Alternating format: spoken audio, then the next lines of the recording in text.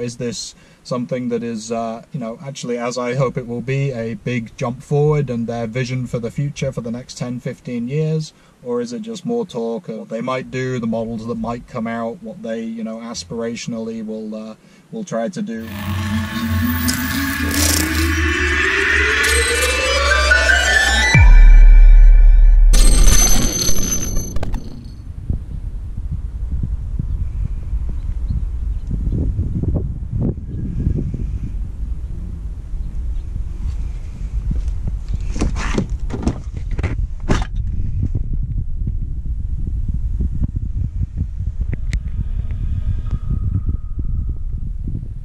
Okay, a quick video uh, in between the fully charged stuff here to talk about GM EV Day, which is uh, on Wednesday, March 4th, for a couple of days before it here. But uh, I, it's supposed to be for investors and uh, to lay out the roadmap for uh, GM's EV future, which is good because even as a two-time Bolt lessee, we're still getting the uh, trucks, SUVs, Chevy Malibu, all these combustion cars, and then we get to this the uh, the Bolt EV, which we are clearly involved with.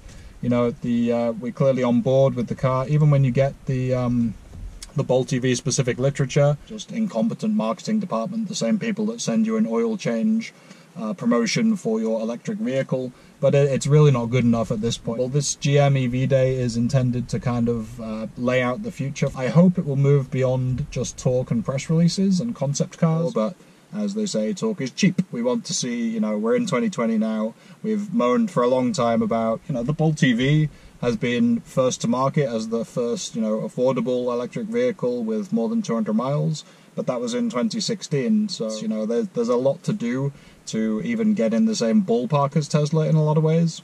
Um, this car beat the Model 3 to market as the affordable option um, with, you know, 200, 250 miles of range. So, it got that, but since 2017, it's just kind of stood still. Obviously, in the 2020 here, we are in a car that can now do uh, 10% more miles, you know, so we're at 259 miles, which still leads the non-Tesla pack in terms of, you know, cars that are available around that 30, 35k price point.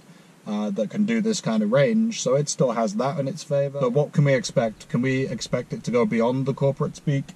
If you look at the videos that they've put out in promotion with this, uh, it's it's futuristic. They're talking about, you know, um, the 2039, which sounds awful as a timeline, but the 2039 is symbolic because 1939 was their uh, World's Fair presenting a future vision for interstates, cars that would take you across the country, um, affordable, you know, vehicles, that kind of thing. And that's kind of where we're at with uh, electric vehicles. You know, we can get across the country, of course, but, you know, it's slower it's not necessarily in all the form factors you want it to be in.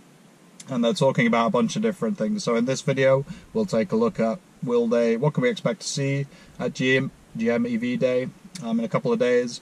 We'll uh, hang some predictions out there. Will be an opportunity to either come back and say, hey, got it right, or to laugh in my face and say, "Ha ha, you ridiculously predicted GM was going to make any progress at all. So I will take the lumps if that's the case, but I have a feeling this is going to be something that will, if not wow the industry, certainly give them a pause for thought and make people a little more confident in what GM's going to have to offer for electric vehicles going forward. Uh, number one, I think uh, we'll finally get the roadmap that we've been looking to have for GM's 20 models. It may not be all 20, but I think they will clearly delineate this is what's going to happen with Cadillac, this is what's going to happen with the GMC line, and this is what you can expect from Chevrolet electric vehicles based on the Bolt platform and maybe some others that we uh, we see coming up. We expect a uh, a Bolt EV uh, mid-cycle refresh for 2021. That's probably going to be part of the uh, um, announcement. You would also expect to see something about the uh, Bolt EUV, if that's what it's called, but the larger Bolt crossover on a similar platform. Um, and just generally, we should get a much better roadmap of the, the brands that uh, they have and uh, where they will fit within the all-electric future that they tout so frequently. And the second thing would obviously be, you know, flow from having a bunch of models, different models coming out. You need uh, a next generation platform to uh, sit them on. This, uh, you know, the Bolt EVs have sat on the Bev 2 platform. It's worked perfectly well for an end of, uh, you know, 2015 to 2020 kind of period. Um, Bev 3 is the platform that they'll uh, put a lot of these, especially the Cadillacs and the GMC Hummer. That platform is what those models will sit on hopefully. And there's been some pretty, you know, um, exciting stats from that.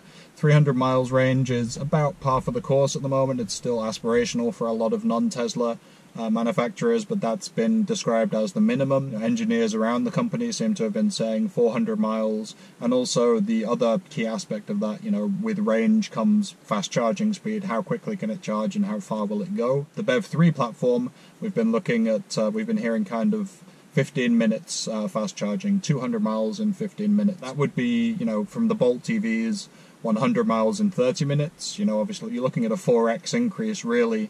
And if you can get 200 miles in 15 minutes, you're getting very close to uh, to where gas is. That's a significant improvement, and that puts them very close to that marker where people say, "I won't drive it unless I can recharge in the same time as I can fill up gas." And that's close. Wow. You, know, you know, fingers crossed for that. That's probably the most important part. I mean, obviously we need models. We want to know what's coming, but that the platform that it sits on is going to inform GM's, um, you know, what capabilities and specs for the next uh, ten years probably. So if we can get those specs anywhere close, we'll be in good shape. So third prediction, um, we should be seeing something about uh, charging infrastructure. I don't subscribe to the notion that uh, GM or any other legacy automaker has to build out a nationwide network or a continental network in any particular market they serve. Um, I think Electrify America has done that to an extent. It's still, you know, not wide enough, and there are areas that aren't served well enough. Um, but this is still early days, so I see Electrify America as a, a long-standing prospect. EVgo, as you know, having just opened its 800th uh, charging station, is right in the mix there as well. You have ChargePoint as a, an option for anybody, you know, individual stakeholders and properties who want to install um, fast charging equipment. And then there's also GM's uh, partnership with Bechtel, which uh, they weren't putting you know lots of money into, but the the data that they have from you know however many Bolt EV drivers we have going around there now, um, you know across the nation and up into Canada, um, there's there's a lot of data that they can bring to the table. I'm not saying that's good enough necessarily. Obviously, when you look at what Chevy offers at uh, dealerships, you know you're coming across half speed chargers at 25 kilowatts. You're uh, whether or not it's in a place where you can get to it, it may be restricted within the service department. The one at our local dealership is broken right now, so nobody is touting the dealership network as anything other than kind of a, a backup or a last resort at the moment. Um, and I, but I don't foresee it becoming somewhere people want to charge on a regular basis. There are not that many dealerships that I would think of um, that are in great places to be charging when you want to maybe shop or have food or even just a rest break. You know, it's a very kind of haphazard place to charge. Um, so I don't see that being something they necessarily need to do, but they do need to bring data to the table and say this is where you know we see Bolt EV ownership spiking. This is how long people charge. This is the kind of property and uh, area that they want to do the charging and how long they'll stay when that happens. Um, so they have something to bring to the table. I just don't think it has to be um, you know, them providing the funds for a national charging network.